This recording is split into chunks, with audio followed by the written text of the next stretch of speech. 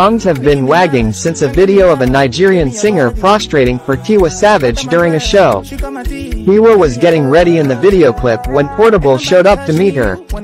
While Tiwa embraced him in return for his love, he first lowered his head and prostrated in front of her. After exchanging pleasantries with the queen of Afrobeat, Portable left the arena shortly after. People have been talking about the viral video on social media, and some have reiterated Portable's respect for others. Tongues have been wagging since a video of a Nigerian singer prostrating for Tiwa Savage during a show. Tiwa was getting ready in the video clip when Portable showed up to meet her. While Tiwa embraced him in return for his love, he first lowered his head and prostrated in front of her.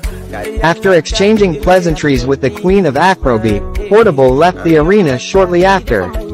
People have been talking about the viral video on social media, and some have reiterated Portable's respect for others.